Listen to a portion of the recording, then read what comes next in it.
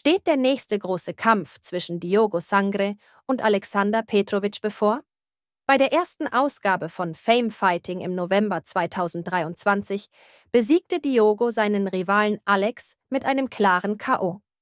In diesem Jahr traten beide Reality-Stars erneut an, allerdings gegen andere Gegner.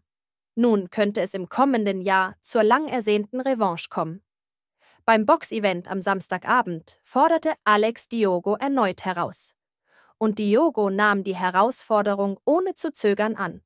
Allerdings gibt es ein Hindernis zu überwinden.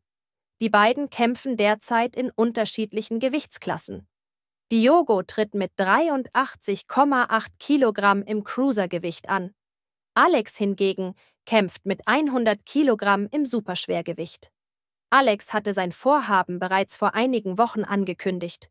Er erklärte auf Instagram, Eugen Lopez sagte zu mir, ich brauche dieses Jahr einen Sieg. Dann kommt es nächstes Jahr zum Rückkampf gegen Diogo. Er betonte weiter, nach der peinlichen Vorstellung letztes Jahr muss ich mir den Rückkampf mit einem Sieg verdienen, und das werde ich tun. Gesagt, getan. Alex besiegte in diesem Jahr seinen Gegner Chris Broy in nur zwei Minuten. Somit hat er sein Ziel wohl erreicht. Doch das letzte Wort ist noch nicht gesprochen. Veranstalter Eugen Lopez muss dem Kampf noch zustimmen. Wenn er dies tut, können sich die Zuschauer auf die erste Fame Fighting Revanche freuen. Bereits in diesem Jahr gab es eine Premiere. Diogo gewann den allerersten Champions-Gürtel im Kampf gegen Bobby Chambers.